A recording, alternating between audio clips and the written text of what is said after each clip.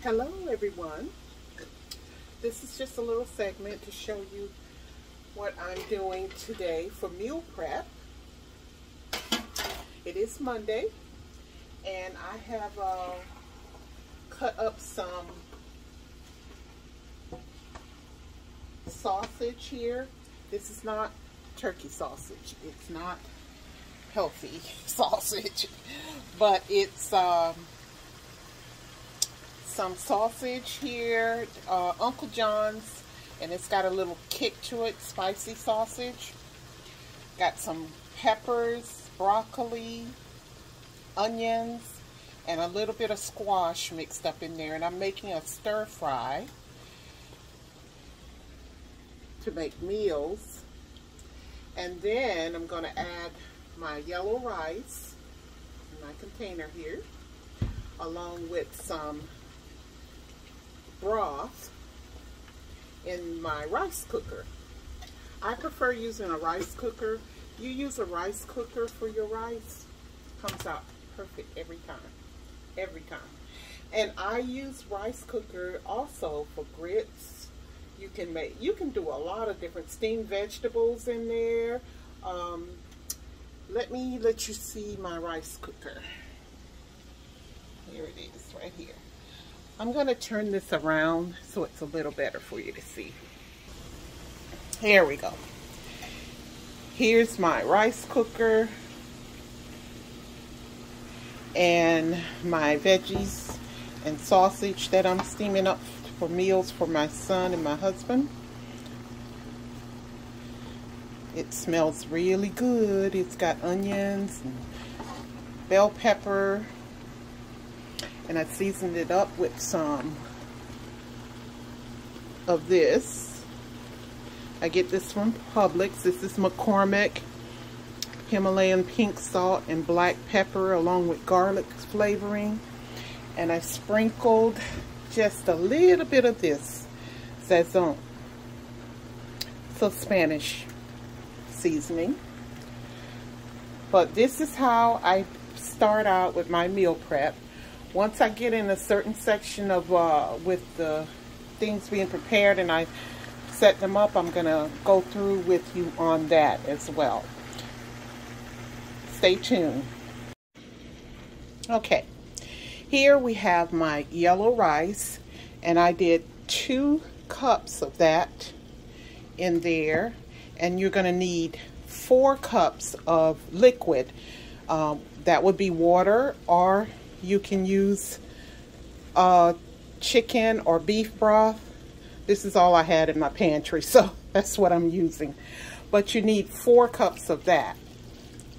And if I'm not mistaken, there's four cups in this container. Because usually I just, I don't measure it. I'm doing it now just because I'm talking to you guys. But that's two cups. And this would be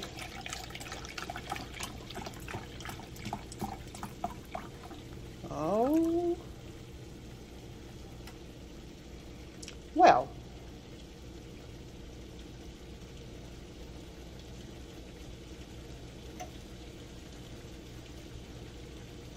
Okay. Not quite two cups but this is what I normally put in here because that, as you can see, that's all it will hold. But I know I put um, one container of the broth along with two cups of my rice. And I mix it up. And then I put a little bit of oil in there with it. You can use oil or butter. I'm using grapeseed oil, just a little. This helps to keep it from sticking and getting um, all gummy. Just a little bit of oil in there. And if you do this and you set that rice cooker, just you're just to set it and forget it. And your rice will never be gummy. It will come out tasting great and looking great. So I'm going to plug this in. And down here you can see this is, uh, that's when it's off. Push it just like a toaster and it's on. The light's not working, of course. Whenever I'm showing stuff.